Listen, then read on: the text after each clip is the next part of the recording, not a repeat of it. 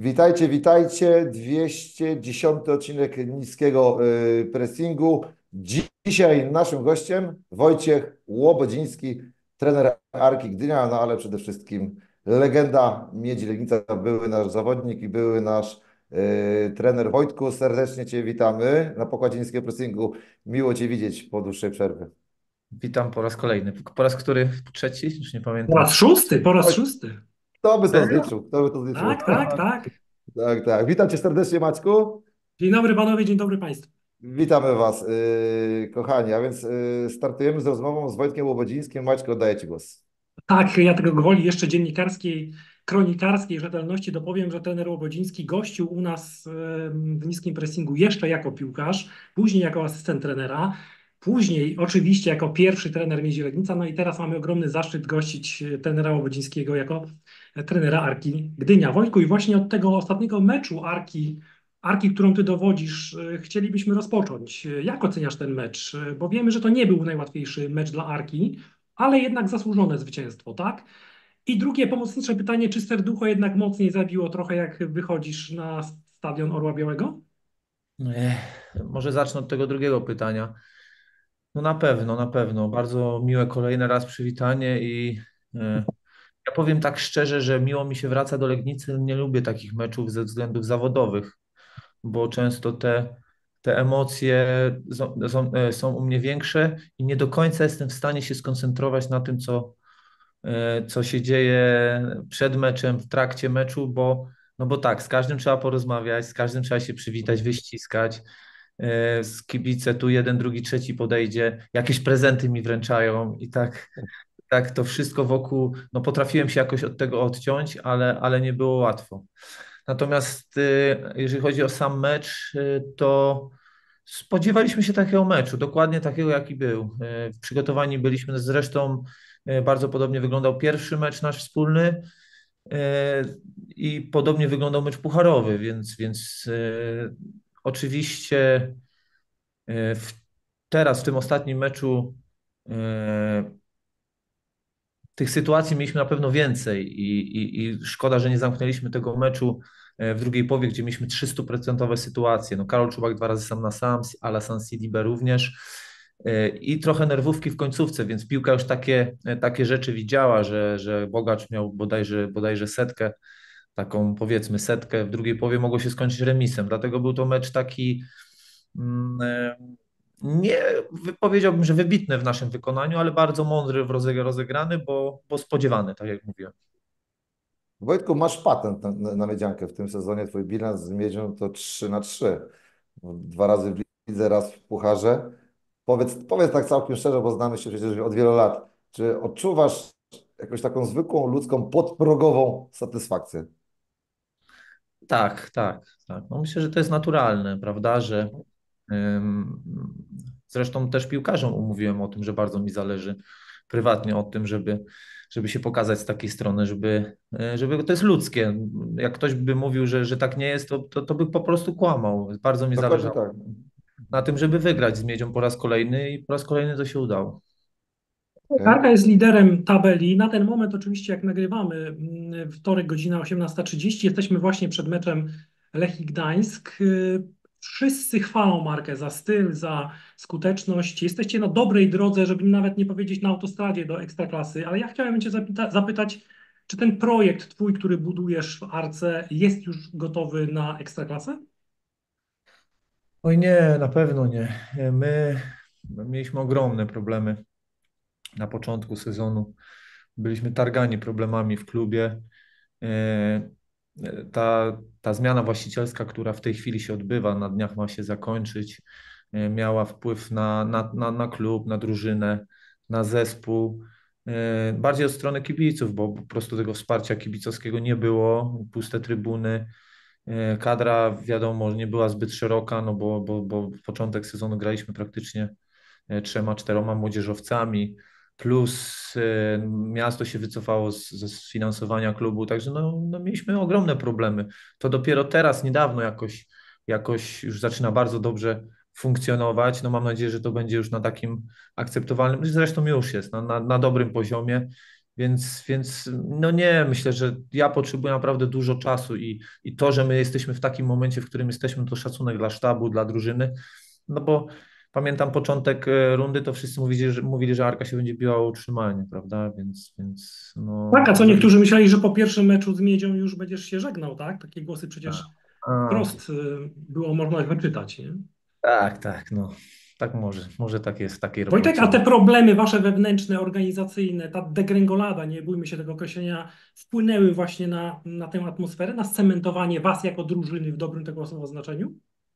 Znaczy, czas, czasami tak się mówi, że, że, że, że, że, to, że to buduje, ale nie, no, boisko weryfikuje. Ja myślę, że po prostu taka codzienna, mocna, e, solidna praca pozwoliła nam no, osiągać takie wyniki, to jak do tej pory. No wiadomo, że e, nie, na pewno nie pomagało to. To na pewno. Na pewno nie pomagało, że, że mieliśmy problemy takie organizacyjne, transferowe. No, no, no kto lubi pracować w takich warunkach? Jak ja słyszę, że to, że to ma znaczenie, że to, to działa pozytywnie, no to, to nie, to jest głupota. Tak nie było. Właśnie Wojtku, z- nawiązałeś do tego, że do tego słabego początku sezonu, bo tam y, jak tak zerknąłem, przypomniałem sobie taki mały research zrobiłem z tabeli, to po trzech pierwszych kolejkach mieliście tylko dwa punkty, tam były dwa remisy i porażka i to bodajże na własnym stadionie z Polonią Warszawa chyba, o ile Tak. się nie mylę i, źle to wyglądało, stąd już tam oczywiście media już spekulowały o twoim y, odejściu y, z klubu. Powiedz tak, czy w tym momencie to tak miałeś takie obawy, że obawiałeś się, że o kurczę, to ta moja praca w tej arce y, nie wypali, tym bardziej, że byłeś no, chwilę po no, nieudanym epizodzie w, Wieczystej Kraków. Czy Miałeś Znaczy- takie odczucia, takie mieszane, takie wątpliwości? Znaczy przede że wsadziłeś się na minę, o, tak to powiem. No. Nie, nie. Przede wszystkim y, zastałem bardzo dużo kontuzji w klubie, bardzo taki zespół rozbity po poprzednim sezonie i potrzebowałem po prostu na to czasu. Czekałem na powrót czterech bodajże zawodników po, po urazach podstawowych. Y, Potrzebowałem y, znaleźć y, optymalne rozwiązania, jeżeli chodzi o granie, o przygotowanie motoryczne zespołu do, do, do, do grania się. My te mecze nie graliśmy złe początkowe i często zawsze o tym mówimy, że wynik decyduje o tym, o tym, o tym, jaka jest pozycja klubu, rola trenera, jak wygląda praca trenera. Ale jak ktoś sobie przypomni, to my naprawdę graliśmy porównywalnie, jeżeli chodzi o poziom, do, do obecnej sytuacji, więc kwestia oczywiście dogrania optymalnego ustawienia, złapania serii, to wszystko miało znaczenie. Wojtek, y, rzuciłem to hasło wieczysta, no chcielibyśmy poruszyć ten temat, y, y, ponieważ to tak duży rozgłos, y, głośno było o, o Twojej pracy wieczystej. Powiedz mi, czy tak, tak z perspektywy czasu, no człowiek całe życie się uczy, powiedz, czy y, Ty jesteś wciąż młodym, obiecującym trenerem, czy powiedz, czy tak z perspektywy czasu to uważasz, że po prostu słuszną decyzję podjąłeś, podejmując tą pracę, to wyzwanie wieczystej i na przykład jakimś młodemu trenerowi za kilka lat y, który jest na Twoim miejscu kariery zawodowej, poleciłbyś, poleciłbyś taką, taki ruch? Znaczy, Bo na przykład kiedyś y, y, mieliśmy y, okazję, y, y, już do brzegu, mieliśmy okazję usłyszeć opinię trenera Ryszarda Tarasiewicza, y, który dowiedział się, że, że, że poszedłeś do wieczystej, to powiedział, że, że popełniasz błąd, że to, że to na Twoim etapie źle. No znaczy, no dałem się namówić, dałem się namówić, to już nie będę mówił dokładnie przez kogo, bardziej takie osobiste jakieś tam relacje. Yy, Przede wszystkim nie do końca yy, wiedziałem, jak jest w klubie, prawda? Yy, Myślałem, że to jest klub zarządzany profesjonalnie, prawda? No i ten profesjonalizm chciałem wprowadzić. To też nie jest tak, że ktoś mnie wyrzucił z wieczystej, tylko po prostu, no rozmawialiśmy o ko- kolejnym sezonie, ale, ale te drogi nam się jakoś rozjechały. Wydaje mi się, że w klubie ogólnie pracownicy klubu czy piłkarze byli zadowoleni z współpracy. Oczywiście ten cel nadrzędny, czyli awans nie został osiągnięty, ale no ja myślę, że, że to jest, to jest sprawa pana Kwietnia. On ma prawo sobie wydawać swoje pieniądze i robić, budować drużynę po swojemu, więc, więc y, jakoś y, patrząc na teraz, bo mm, jeżeli chodzi o transfery wieczystej, no to myślałem, że się zatrzymają, no a poszli grubiej jeszcze, także Tak. Nie wiem, nie wiem, czy to, to się sprawdzi dalej, bo uważam, że ten projekt można było inaczej, e, inaczej poprowadzić. Zresztą kilku tych zawodników, których, e, których jest w Wieczystej teraz oczywiście też bym widział, ale mecz Pucharu Polski Wieczystej z Piastem Gliwice chyba pokazał, że to może nie wystarczyć. To nie jest tak, że się ściągnie same nazwiska i, i, i coś z I one tego będą będzie. grały, no właśnie. Tak, z perspektywy czasu nie żałuję, bo to jest kolejny, kolejny jakiś tam etap w karierze, sp- spotkać się w takich warunkach, próbować coś zmienić w grupie, która jest tak naprawdę w większości była wtedy, jakby to powiedzieć, na żarta, nie? To brzydkie Mhm, określenie. mhm. Więc y, z takimi zawodnikami też trzeba pracować, szczególnie, że oni naprawdę byli, byli nieźli, ale tak naprawdę byli na takim etapie kariery, że wydawało się, że, że trzecia liga to jest ok, oni sobie poradzą bez trenowania, bez mocniejszej pracy, a to się tak na, na trzecioligowym nawet poziomie w Polsce już nie da. Oczywiście kibicuję Wieczystej, bo zostało tam jeszcze dużo chłopaków. Sławek Peszko jest, który, który ma, ma już taki ultra potencjał w tej chwili już na, na drugą ligę, że oni tam zamiotą. Pytanie, jak będzie w drugiej lidze, bo to też nie jestem tak do końca przekonany. No i Sławek sobie całkiem, całkiem fajnie radzi, Tak. prawda? Jakoś to poukładał. Tak, tak, Daje tak, mu tak. No, tak, myślę, że tak. Myślę, że dużo, dużo pracy tam wykonuje asystent y, Rafał Jędryszko, który, który naprawdę y, jest, jest mega fajnym, y, poukładanym trenerem, który w mojej ocenie powinien dostać on szansę wcześniej. Przekładając Super. tak panowie to na język polityki w polskiej, jesteśmy w przededniu wyborów, to drużyna tłustych kotów, tak? Ale zostawmy. Ale, Ale zostawmy- Nie, zostawmy. Jest zarzut. Nie jest, to nie jest jakiś wielki zarzut, tylko, tylko po prostu stwierdzenie faktu. Mhm. Właśnie, Wojtek, to Dokładnie, kolejne ale- Twoje doświadczenie, ale jesteś tu i teraz, jesteś ym, na szczeblu centralnym, na szczęście w Fortuna pierwszej lidze. Ja bym chciał powrócić do tej Fortuna pierwszej ligi. Wiemy, że Arka jest y, graczem, jednym z głównych graczy o awans. E, Kto jeszcze w tej stawce wydaje się, że mm, no, nie, nie chcę używać określenia teraz e, pewniakiem, no ale kto się włączy o bezpośredni awans z Arką i kto ewentualnie będzie walczył o baraże? Jak ty to widzisz? No Lechia bez dwóch zdań. No, no Lechia w tej chwili ma, o, ma, ma imponującą serię, grają bardzo dobrze, mają młody zespół e, plus kilku doświadczonych graczy i Lechia to wiadomo, ale no tam to jest ten peleton, to jest kurczę, no można liczyć od chyba ósmego miejsca, od ósmego miejsca w górę, więc jakbym miał powiedzieć przed sezonem, czy nawet przed rundą, to bym powiedział, że Wisła Kraków, jak wszyscy mówią, no bo, bo, bo jakościowo to jest, to jest chyba najlepszy zespół, e, jeżeli chodzi o indywidualności. No ale ja bym, ja bym się optował między Tychami a, a Katowicami jednak, bo, bo to jest zes- to są zespoły, które grają fizyczną, mocną piłkę, a w pierwszej lidze no to się sprawdza, no. To się często sprawdza, nie tylko samo granie w piłkę, ale, ale bieganie, stałe fragmenty, przygotowanie motoryczne. Wydaje mi się, że Gieksas z fajnym, dobrym trenerem Górakiem, którego znam, może, może, może jakimś tak z tylnego siedzenia spróbować awansować. Mhm. A ty w końcu z trenerem Banasikiem, który też już e, awansu posmakował i zna tę pierwszą ligę, prawda? Tak, tak, wydaje mi się, że Tychy często, Tychy, Tychy mówię, trener Banasik wie- wiedział jak to poukładać, Tychy często gdzieś tam próbowały e, włączyć się o ten awans, wydaje się, że tam wszystko w klubie jest poukładane, także no teraz małą zadyszkę złapali ostatnio, ale ogólnie to, to jest dobry zespół. Wojtek, y, my wierzymy w to, y, że, że Arka awansuje y, do Ekstraklasy. Nie dlatego, że z Maćkiem jesteśmy fanami Arki Gdynia. Nie będziemy tu ukrywać, że chodzimy w szalikach Arki w koszulkach, bo chodzimy w koszulkach miedzi. No spróbował w Legnicy chodzić w szaliku. To tak w ogóle. To, to, to tak, no, nie musiałeś tego dodawać. Oj tam, oj tam. No tak, ale, Ale- ogromna sympatia do ciebie to jednak. e, Ale, ale, ale liczymy na to, że Arka awansuje ze względu na Ciebie, ponieważ No Tobie kibicujemy i, i Dzięki, tutaj jesteśmy e, rozbrajająco szczerzy. Yy, dlatego tak zakładamy, że ta Arka awansuje. Zresztą, zresztą no, tak na poważnie już rzecz biorąc, to macie po prostu atuty sportowe. Yy, Wystarczy popatrzeć w tabelę i na wyniki. I to byłby Twój, będzie Twój drugi awans do Ekstraklasy. Powiedz Wojtek, czy myślisz, że teraz Ci będzie już w tej Ekstra- Ekstraklasie łatwiej? No pomnę tych jednak doświadczeń, które tutaj zebrałeś yy, w Miedzi. To chyba ogromny kapitał. Myślisz, że teraz będziesz trochę inaczej do tego podchodził? Nie, nie, nie mam zamiaru wybiegać tak w przyszłość, bo to jest daleka droga. Ten, ten sezon jest o wiele trudniejszy od tamtego z Miedzią.